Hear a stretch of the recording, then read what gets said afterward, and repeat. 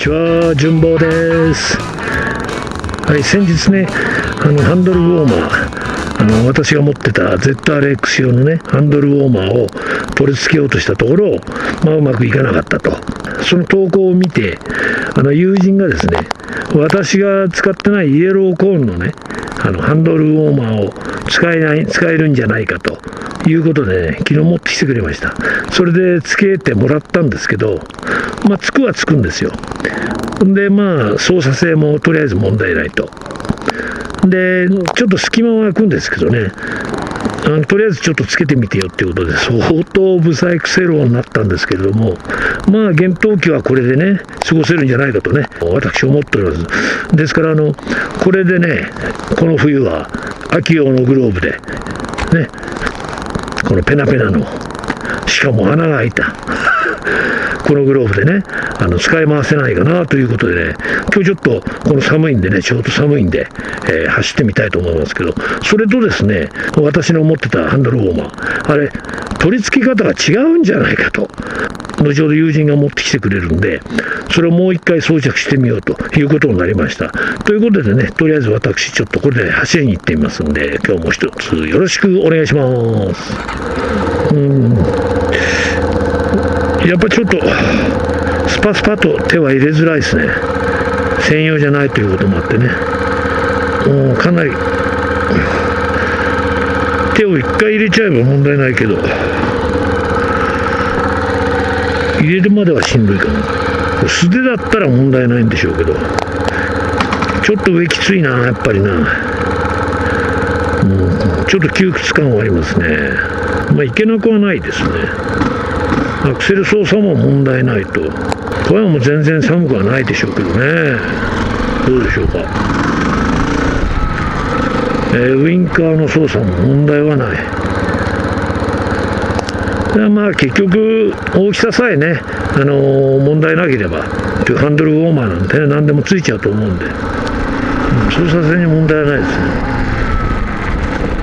普段街乗りで使用してる時はねハンドルウォーマーなんか別にいらないんですけど朝夕ねツーリング行った時の朝夕の寒さそれとその高速道路でね長時間走ってる時に指先冷たくなるじゃないですか。あれがねどうも気になるんでまあハンドルウォーマーをねつけようという感じなんですけど冬場だけね。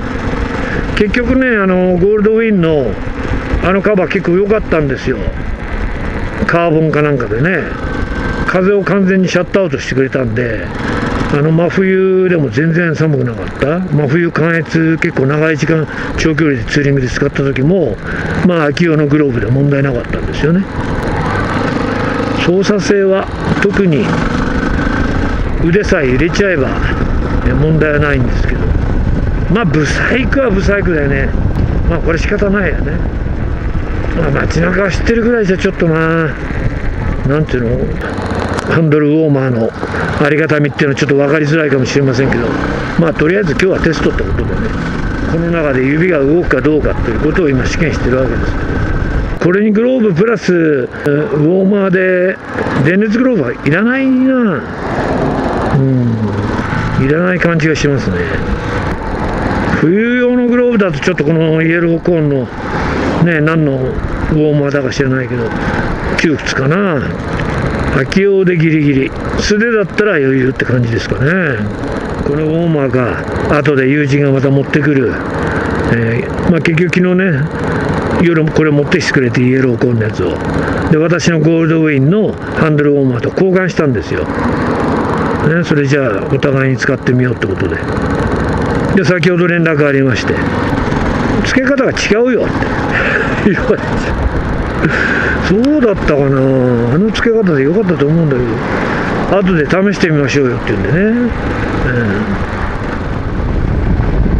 うん、まあそれでもやっぱりハンドルウォーマーあるのとないのとではね。全然違いますね。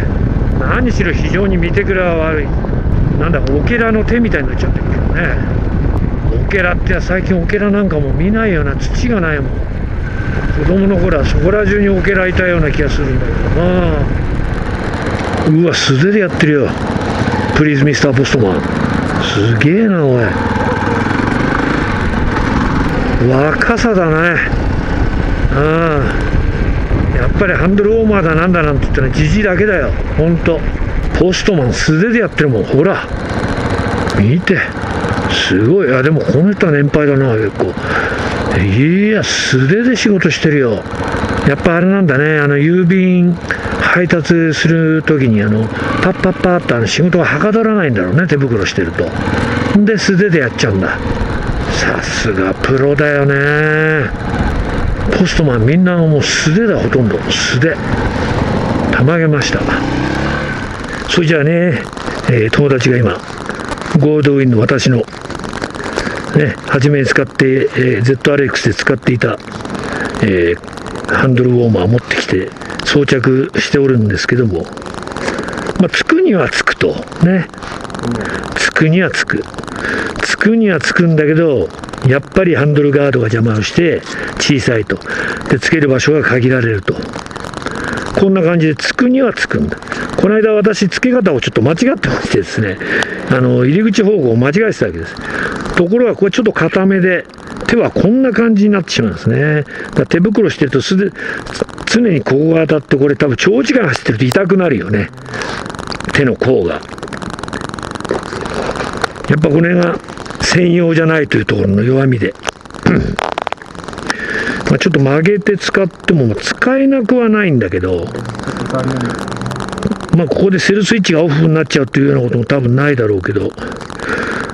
こういう感じになっちゃうんだね。ちょっと残念な感じになる。んだけどさあどちらがいいかという。どうでしょう。どうでしょうか。